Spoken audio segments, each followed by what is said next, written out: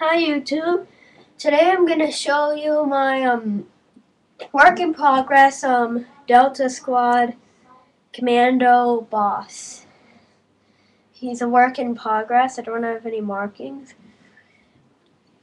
But what I do have is to make the blue visor. I decided that I don't really want to do um the um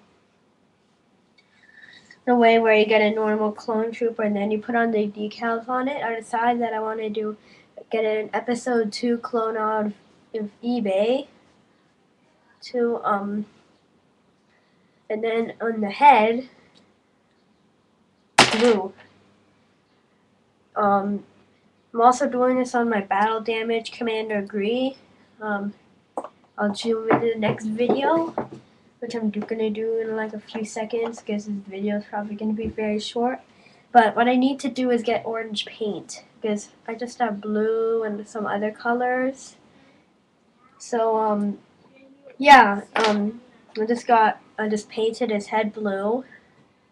And since inside the visor, it's like, it's like the visor thing is see-through, not like the Clone Wars one.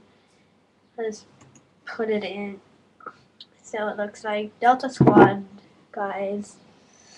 So yeah, um, I'll show you when this is done. Yeah, I have a cold.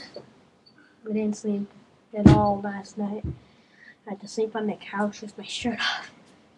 And um, yeah, bye.